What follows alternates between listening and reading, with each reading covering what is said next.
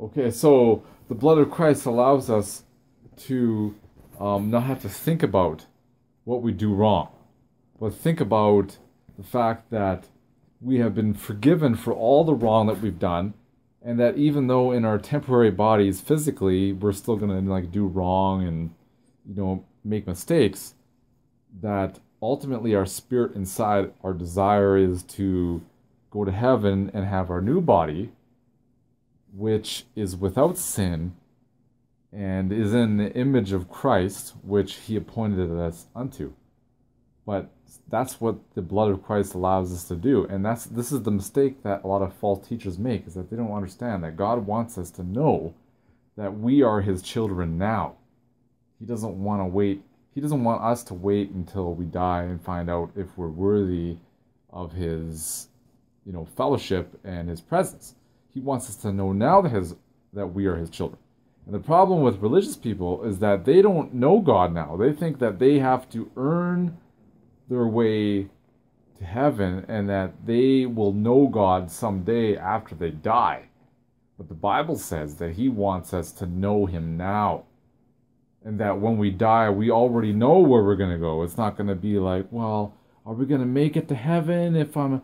I hope I'm good enough to go to heaven. No, it's like He wants us to know that right now we're His children and that we have the confidence and boldness to believe that we're His children and we can even right now ask him for things because we are on the same level as Christ. That's why the Bible says that Jesus has set us in uh, heavenly places, that we sit together with Christ in heavenly places. So he actually put us on the same level as he is.